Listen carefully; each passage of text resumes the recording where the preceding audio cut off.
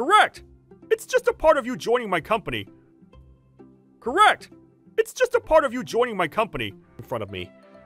No, this was not supposed to happen to me. I came here to sign papers to move into company housing. That was all this was supposed to be about. Uh, this. This is a marriage registration form. Correct! It's just a part of you joining my company. Kosuke Hibiki, I want you to take my granddaughter as your wife. He makes it sound like he's recommending a dessert with the food I ordered. Seriously, what is going on? You're a kind, gentle hearted man. I've been searching for a man like you. Grandfather, why are you doing this? Yes, exactly what I wanted to ask. I have no idea how things turned out like this. I guess it started about a month ago.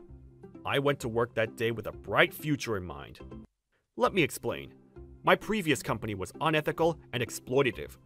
Work hours were non existent while I was with them. Work became my life, and it was as if they expected me to dedicate my life to them. I got sick of it and decided to end it that day. I was finally free, and it felt great. Best day of my life. I was practically skipping down the streets in joy. I wondered if I should take some time off. I worked my ass off. I deserved it. Just then, I saw an old man crouched on the ground. He looked hurt. He stopped me from calling an ambulance, saying he lived nearby and didn't want to cause a scene. Anyways, I couldn't walk away after seeing him on the ground. I decided to take him home, and I carried him on my back. I couldn't believe what I saw when we arrived at the house he gave directions to. What the heck? A looming gate and a pond in the garden? I thought my neck would break looking up at the whole place. It was a huge mansion, the kind that only exists in movies. This man, this old man, turned out to be the Ikuzo Amachi, the chairman of a big Zaibatsu, the Amachi Group. He invited me inside and gave me his card. I started visiting him from time to time. I'll admit the friendship between us was a lot to get used to. I see. So you quit your company. Wow. Everything is working out just great. How would you like to start working for me? What? Is he asking me to work for him? Is this real? What did I do to deserve this? I don't know anybody who would say no to such an opportunity. I accepted his offer, obviously.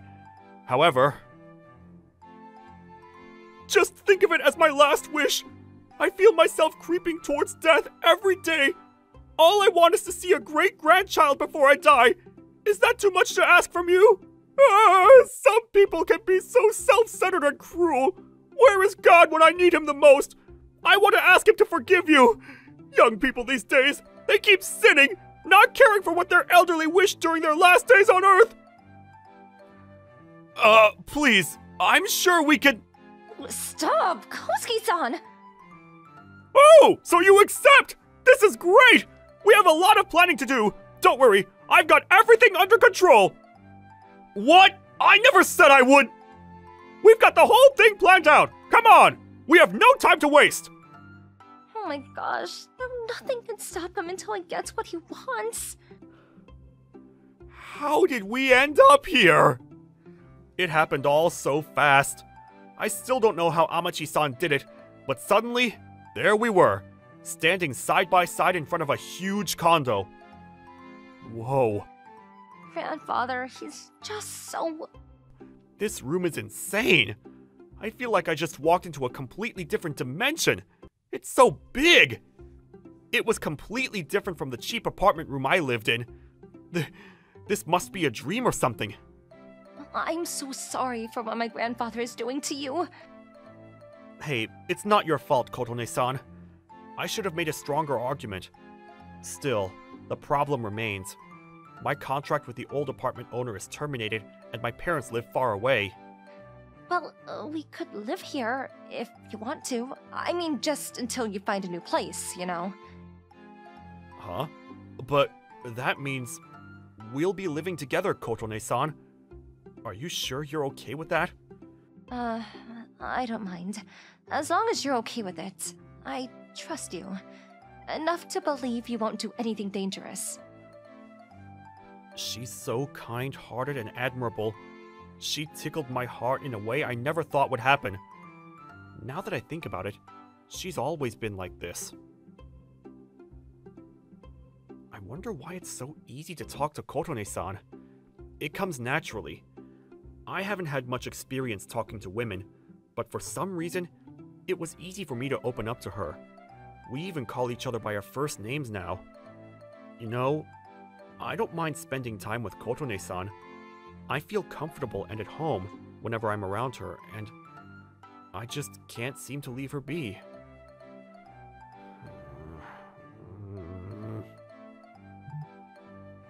Hey, you.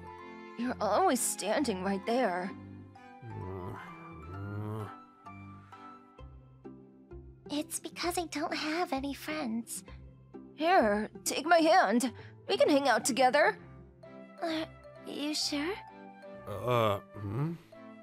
Was that a dream? I remember. It's faint, but I know that memory. It happened back when I was a kid, and the girl. I see dreams from my childhood often these days. I wonder why. Is it because so much has been happening? Wow, this looks great! I'm starving! This is the breakfast I've been dreaming of! I found myself oohing over the meal she made. Gosh, how can she know all of my favorites?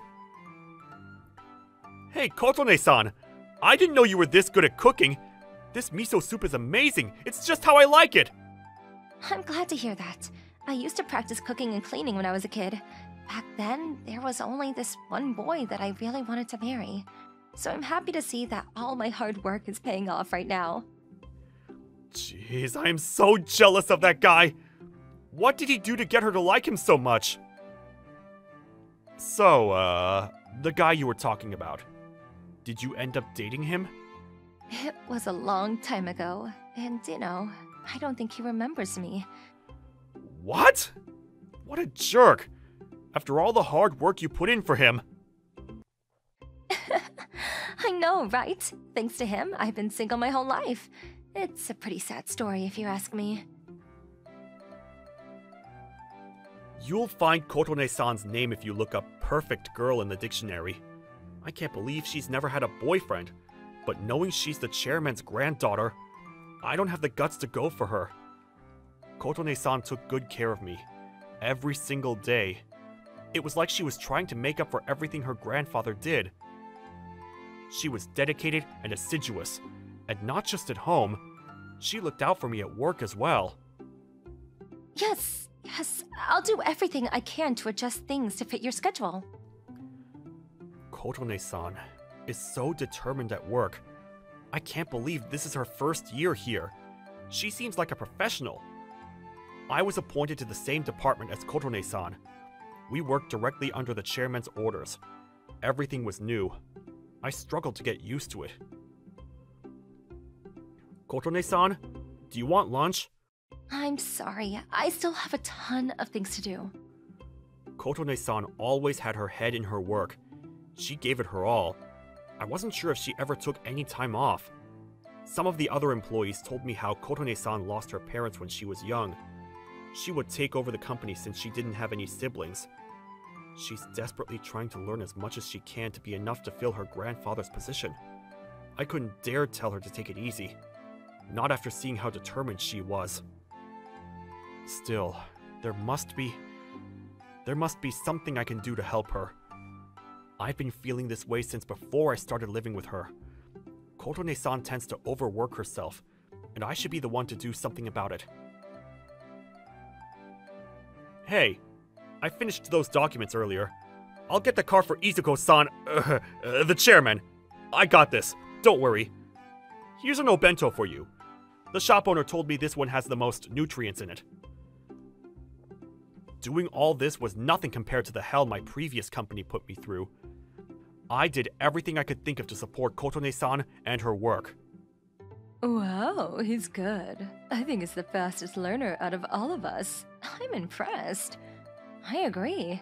Kotone, you work yourself too hard.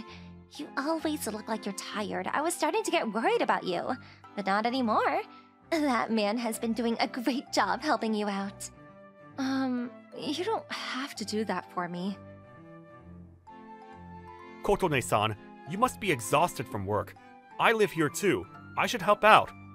But you're always helping me at work. Stop overthinking. Just relax. Just let me know if there's anything else I can do for you, okay?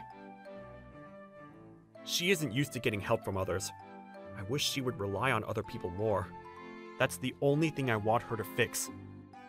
Are you sure? Okay. Here.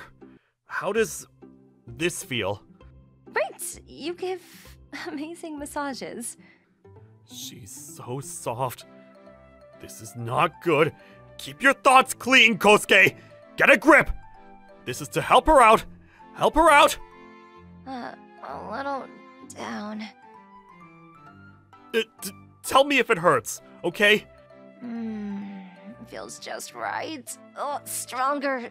There. Clear your head, Kosuke. I'm a massage machine, only existing to soothe her aching back. I don't know if it's just me, but recently, I feel like Kotone san and I have grown closer. oh, I'm craving beef stew right now. We should buy tons of meat to put in.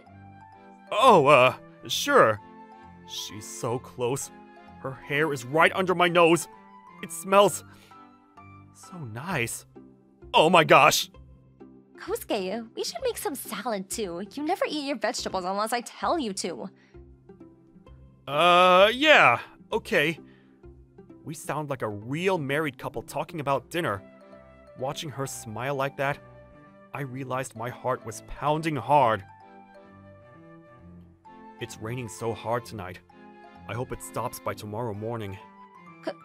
Kosuke-san, uh, are you awake? The thunder. I'm terrified of it. Uh, can I please stay here with you tonight? What? What's going on? I couldn't say no to a frightened woman, but this is so not appropriate. I, I can feel Kotone-san's warm body against my back. Kosuke-san, yes?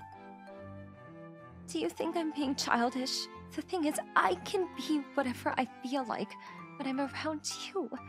You bring me back to my past self. I hate thunder. Not so fond of rain either. It reminds me of the day I lost my father and mother. Kotone-san. Thank you for everything, Kosuke-san. Kotone-san. I didn't know what the feeling was, but it clutched at my heart. Her grandfather put us where we were, but I couldn't deny it anymore. I can't lie about how I'm feeling anymore. Kotone-san, you... I feel... Oh, I feel awful. I hope it doesn't leave a scar. If, uh, well, if the wound leaves a scar, if it stays with me, will you stay by my side to help me? Another... dream? It's that dream again. It felt more real this time. It's a memory from when I was a kid. There was a girl. We were close back when we were younger. I can't remember what her name was. I cared for her. She was like a little sister to me.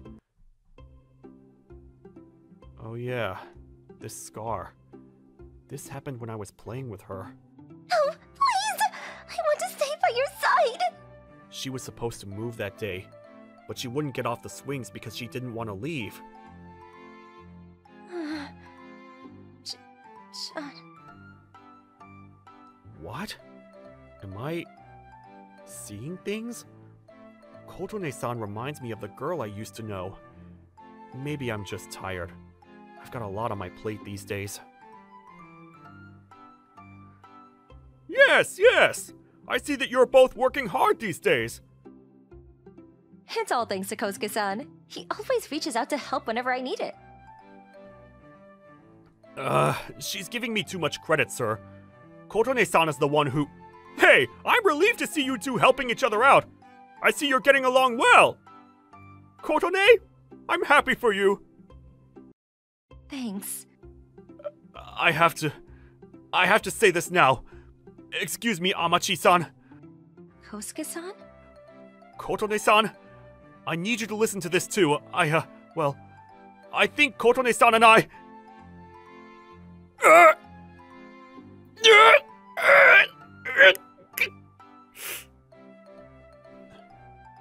Grandfather, what's wrong? Grandfather! No! Ikuzo-san! We're getting you to the hospital, Ikuzo-san! I immediately called an ambulance. Kotone-san clutched onto her grandfather. Fear and panic pasted on her face. The ambulance took us to the hospital where Ikuzo-san's doctor worked. Kotone-san told me she had been there several times to accompany her grandfather.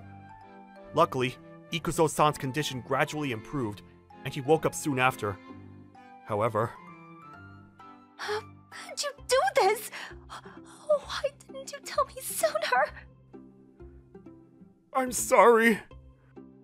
Grandfather, you have cancer, and it's advanced to stage four. Linitis plastica, also known as stomach cancer. Ikuzo-san only had a few years maximum left to live, but even the doctors couldn't predict when he would actually die.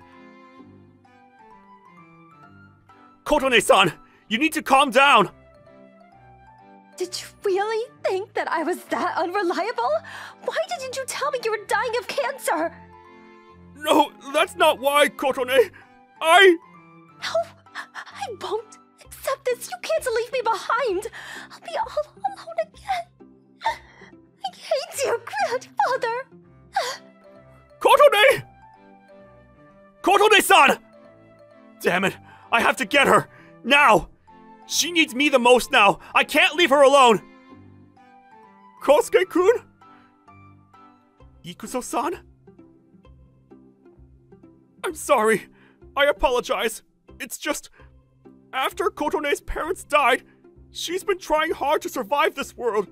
She always told me she would do her best so I could retire early to enjoy the rest of my life. That's why I couldn't bring myself to tell her the truth. I don't care about who takes over the company. All I care about is Kotone's happiness. That's all that matters to me. Ikuzo-san, I needed to find somebody who would take good care of her after I'm gone. Ikuzo-san. I promise, I will. I gave Ikuzo-san my word and rushed out of the hospital room to find Kotone-san.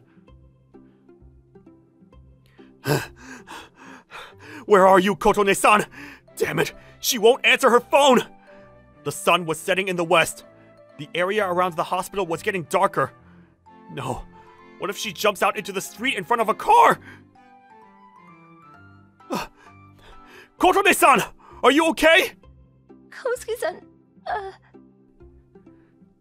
Did you sprain your ankle? Stop! Don't try to stand up! I'm sorry.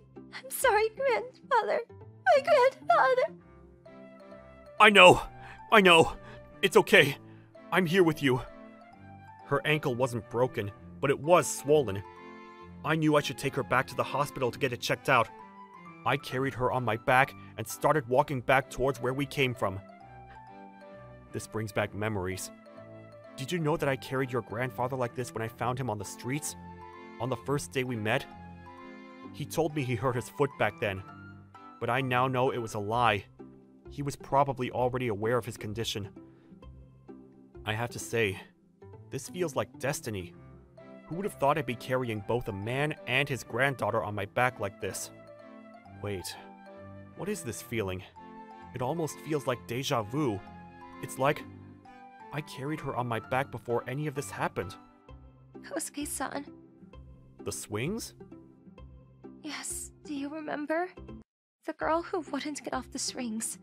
The sun was setting like it is now, and she was bawling her eyes out. Oh, please! I want to stay by your side! I don't want to go home! Honey and Mommy aren't there anymore! Oni-chan, I want to stay by your side forever! Hey, watch out! Cr- uh, oh, that hurts! it hurts so much! I'm sorry. I couldn't protect. I hope it doesn't leave a scar. If it leaves a scar, Oni-chan, will you take responsibility? Huh? Promise me, after we grow older, if I still have this scar, Oni-chan, he'll be my... Yes, if the scar remains after we become adults. I asked you to be my wife, remember? Do you remember me? I never forgot about you. Kosuke-san, you took care of me. You were so kind to me. Kotone-san, this... this can't be. I still have the scar. Kotone-san, Koto-chan? Oni-chan, does that promise we made as kids still count? Oh. I embraced Kotone-san. That was my answer to her question. I didn't know what to say. I didn't know where to start. You know, I waited for you, and I looked everywhere for you. You are such a wonderful man. I was sure you had found the perfect match, but I couldn't give up. That day, grandfather had told me that he finally found you, and that he rushed out of the house to go somewhere. Izuko-san is worried about you. All he cares about is that you live a happy life.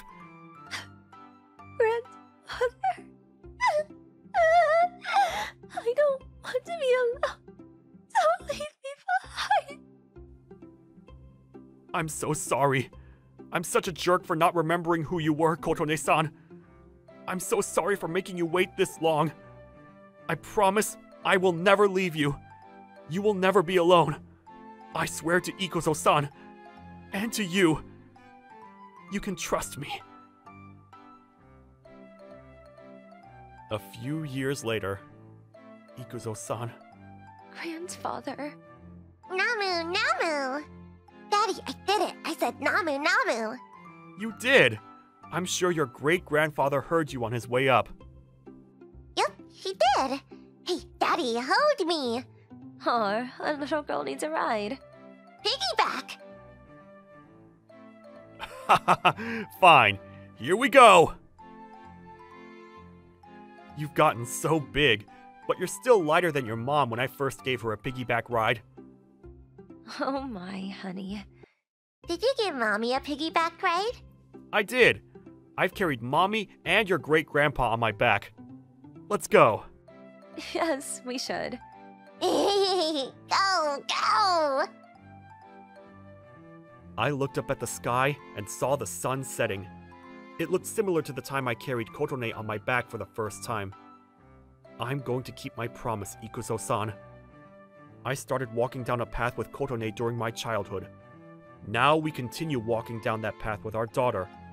I promise to protect what we have, every step of the way.